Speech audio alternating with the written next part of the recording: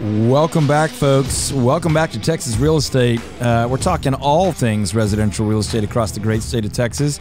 And I still owe you uh, a payoff on why Suze Orman might be a little cuckoo.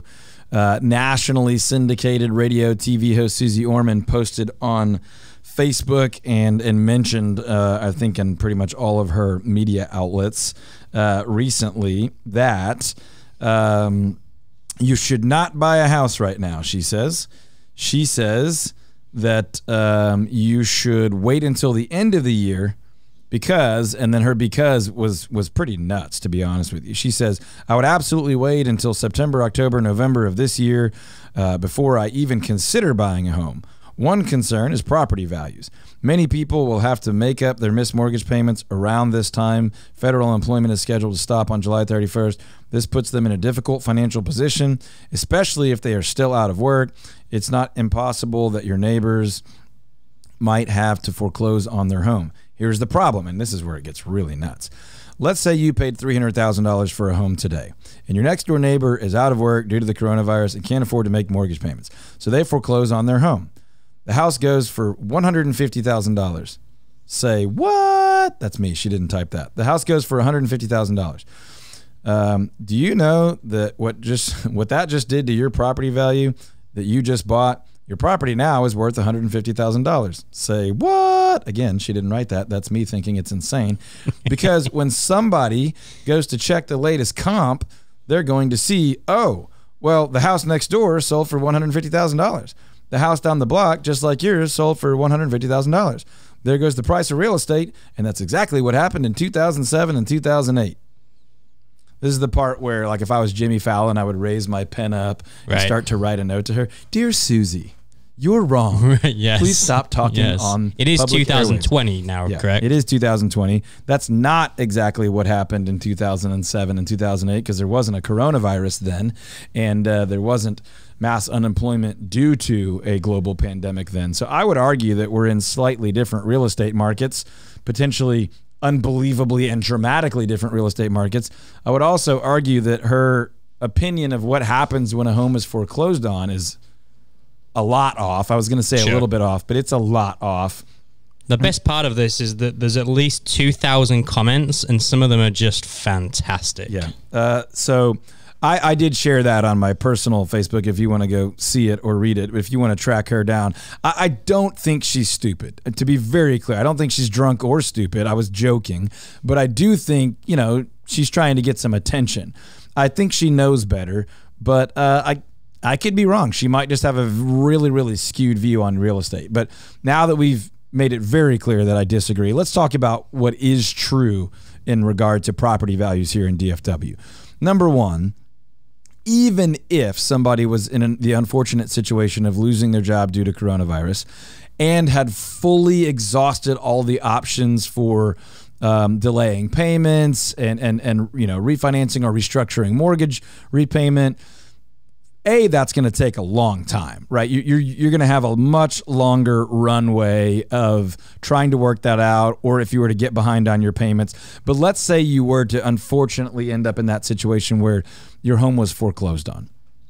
Well in, in the market that we are in right now with values rising every single day a bank is not going to foreclose on that home and then turn around and sell it for half price especially if you just bought it a couple of months ago. Even if you paid cash for that house and you had that amount of equity, if you paid cash, you're not going to get foreclosed on by a bank Right. because there is no bank. But if you were unemployed and had to get rid of the house or whatever, no one's going to sell it for half price, right? If you borrowed money for the house, even if you put a big down payment down, the and the bank takes that back, they're not going to sell it for half price either because they have the opportunity to recoup all their money and maybe if there's equity maybe actually make some money which is what a bank is in business to do you know make some money so that's not a scenario Breaking news on that one. breaking, Breaking news. Banks are here to make money. in case you didn't know uh, you heard it here first Yes. yes. but it just that argument makes no sense, right? That's not what's happening. It's really not what directly happened in 2007 and 8. Now, there was a lot of foreclosures in 2007 8, and in 2007 and 8, banks were overwhelmed with foreclosures and did at times sell those homes for less than they were owed to get them off their balance sheets. Um, we are not seeing that right now. Is it possible that some of that could happen in areas where borrowing was rambunctious and kind of unwise? It is technically possible. She used the phrase in, in her deal it's not impossible that your neighbors might. How, what a great sentence, Yeah. right? It's not impossible that your neighbors might have to foreclose on their home. Well, that's true every day of every year for Right. everyone everywhere, right? It's By the not way, it's not impossible is just another way of saying might. Right. It's not impossible that there might be a meteor landing on me today. Not probable, but it's not impossible that it might happen. So Which, if you follow anything to do with NASA, you'll know that that actually happens more than you might think. that's for another It show. never makes the news. That's for Scary another stuff. show. Anyway, conspiracy theories aside, um, it was just a ridiculous article. But the reason I bring it up, it wasn't even an article, it was just a comment. But the reason I bring it up is because she's not the only one saying stuff like this. There's media all over the place, there's wannabe pundits all over the place. You know, anybody with a computer and a microphone can have a podcast these days. There, of course, are some great ones, but there's a lot of opinions out there that are not based in fact, especially hyper local real estate data right? So here's the hyperlocal real estate data for North Texas, Dallas Fort Worth area right now. Home values are rising due to low supply, high demand, extraordinarily low interest rates, and um, we are still seeing population growth in North Texas. Even through COVID 19, we are still seeing people move to the market and need a place to live. Um, did we see total overall transactions dip during our shelter in place? Of course we did, and shortly following. But for May, and absolutely you can count on it, for June, we saw the largest rises month over month in home sales that we've seen since 2001. And, and, and in some ways, if you look at that data, the, the largest month over month month rise ever.